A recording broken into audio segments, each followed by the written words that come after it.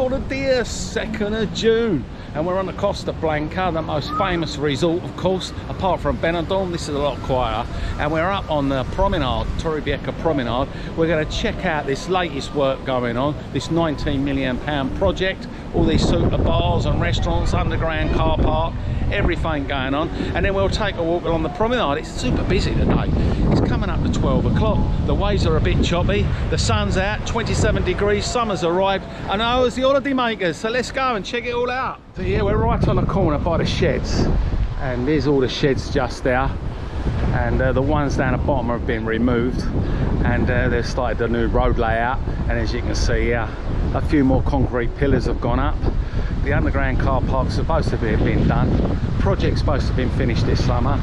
Could be going on the next summer because it don't look like anywhere in the near future.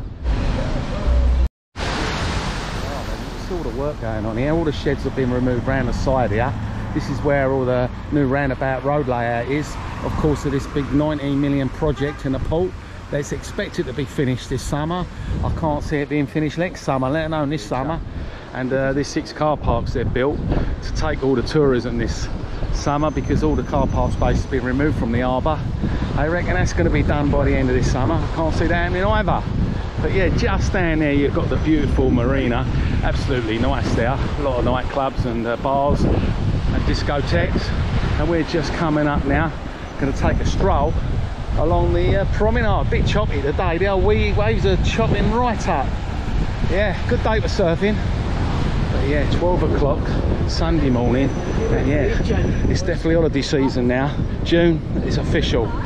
And uh, if you're thinking of going anywhere else but Torrevieja, I've just got back on my travels from Ibiza. If you want to check out that, you can go onto the channel.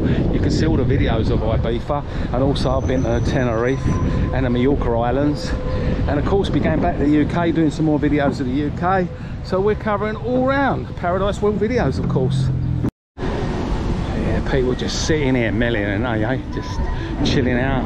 Some having a nice morning coffee and of course the hard, hardcore are on the alcohols already.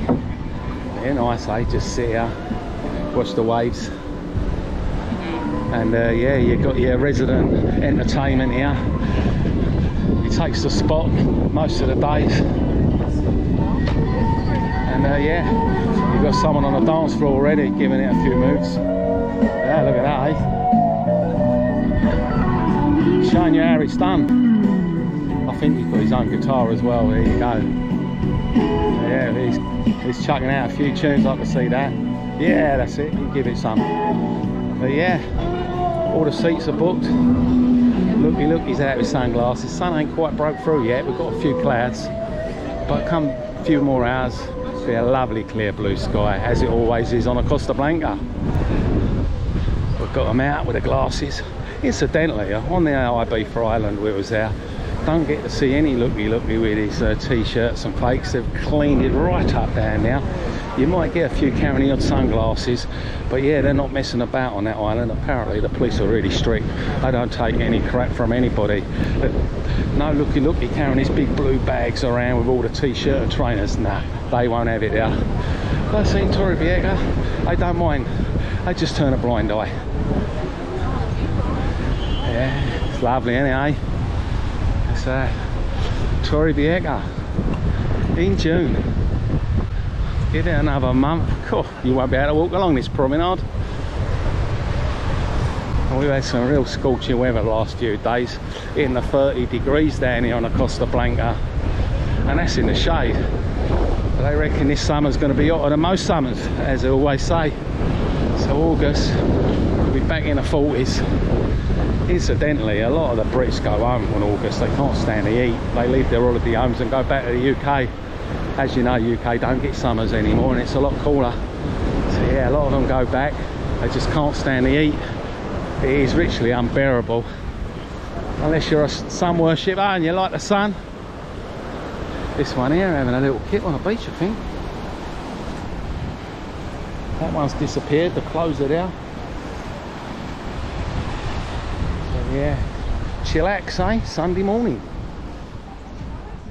and yeah we've got a couple on the beach down here i think they need to get a room bit early in the morning for all this uh, larkly. Go past the popular cafeteria area. Every year that changes its name. For very reasonable price as I mentioned. So yeah, we're heading now up to uh, the other end of the Playa del Cura beach. This bit here in the middle, you tend to get a lot of coves. And uh, which are great for the kids of course. You can monitor them better. Yeah, this end here, like I say, the alcoves, great for the kids. This is really the kids section just here. It's uh, easy to keep an eye on them, a bit shallower. And uh, yeah, they love it, don't they? This is the, the family section, I call it. And then you've got another little cove further along, which is also where all the kings gather. And right down the far end where we're going to be going. I'll say that's the adult beach.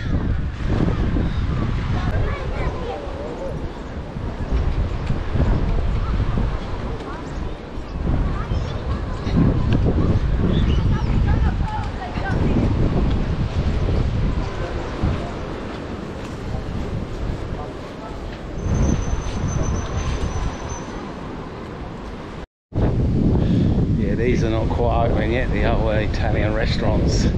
They soon will be, another hour or so. It'll be lunchtime. But yeah, plenty of other bars open. God, you can hear them waves chopping up, can't you? Even the pigeons are running scared.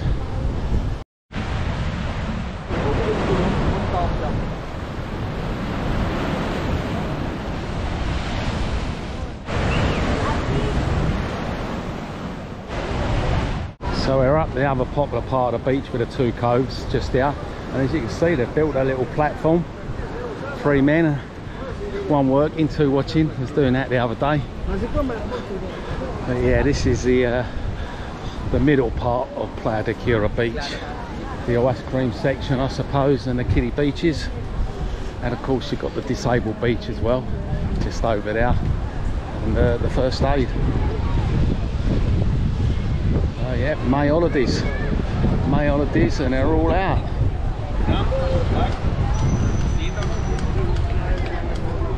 And if you get your bucket and spade, you've got your shops for your bucket and spades, your swimming trunks and your souvenirs. So yeah, it's a gorgeous little uh, promenade. Torrevieja. Does um, show up the back streets a little bit. The back streets can be a bit nasty, as you see in the videos I've done on the graffiti and that. You've got the, the nice bits and then all of a sudden you get let down with all this uh, graffiti everywhere. But when you come along the promenade, it's just like a different world, isn't it? And there you go. Looks like they've uh, they've done a different thing this year for the disabled. They've got it like enclosed benches rather than all chairs.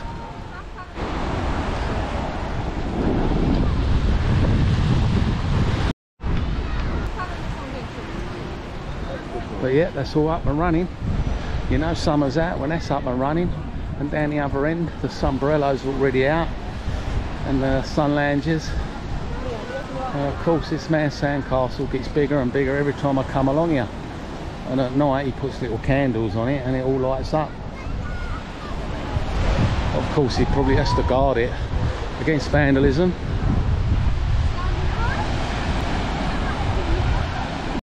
Yeah, many people say when I go back to the UK, what do you do with yourself? Do you get bored? You must get bored all day. You can't get bored because there's so many beautiful places to go. As I've done videos on all these little uh, towns and villages and uh, all these beautiful beaches and got the sunshine and just going for a lovely walk every day. You know, losing the calories as you do because you can easily pile them on if you're sitting around drinking and eating in bars. So yeah, cannot get bored in Spain. Tell me you get bored in Spain, you've got to be lying. It's impossible. And everybody that comes here for holiday, they just don't want to go home. Do you blame them? This is paradise. Absolute paradise. And just along the promenade here, you've got the best fish and chips apparently, and it's uh, 28 euros for two people. There you go, the Seagull Restaurant, appropriately named. As you know before, this was a restaurant just here. That's all been demolished now. So I look out tower. People love it for the selfies. So yeah, we're now coming up the far end. And when you get to the right end of this beach, during the morning time, you tend to have the patankas all out, having a little petanka games. And this bit of the beach, you really have to get here early because it does get really, really busy, especially in the height for the summer. It's busy now, and we're not even reached the height for the summer. But yeah, it is like sardines, absolutely chocker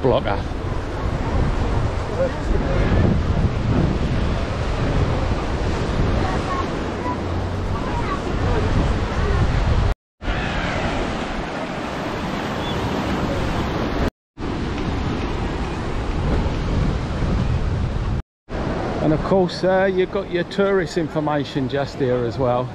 If you need any tourist information and there's also another one just up by the far end of the harbour. And that's where not a nice little uh, restaurants as well by the harbour. But yeah not quite lunchtime yet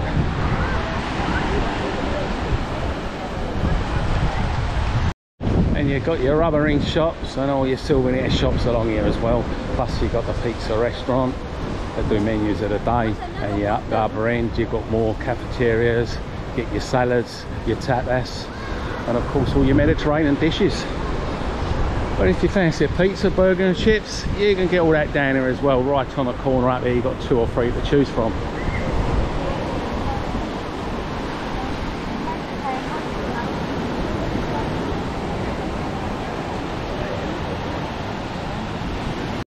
There we go, all got their front row seats. Sometimes you get the chap here selling as well, a bit of uh, fresh fruit, lemons, oranges and all things like that. So have far corner here, this is where they normally play their petankas early in the morning. Of course we won't be able to do it in the afternoon, not now. There's someone doing a bit of paragliding over there in the distance as well.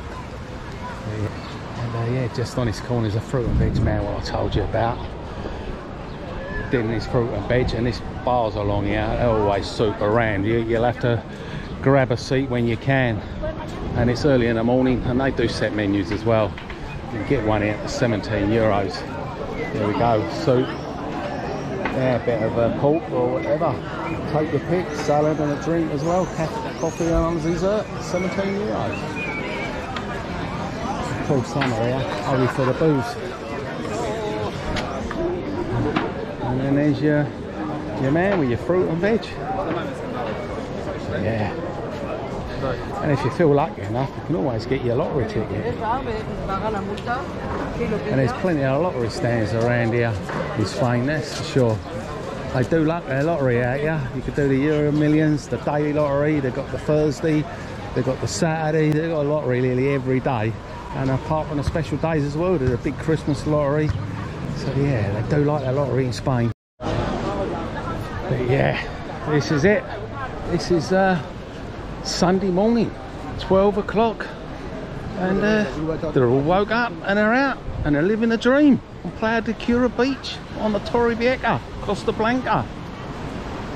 So yeah, if you fancy coming down and having a bit of breakfast, a glass of sangria, these your prices. This one's a menu a day between 12 and 4 for 17.90. But yeah, plenty of restaurants to choose from. Let us know what you think of Playa de Cura Torrevieja. Is it your sort of place you want to visit? And what do you think about this project? 19 million. They actually run out of money. They needed more money to carry on with a project. And it ain't going to be finished this year. And I doubt it'll be finished next year. We're talking Mañana. Thanks for watching the video. Let us know in the comments below what you think of all the topics today.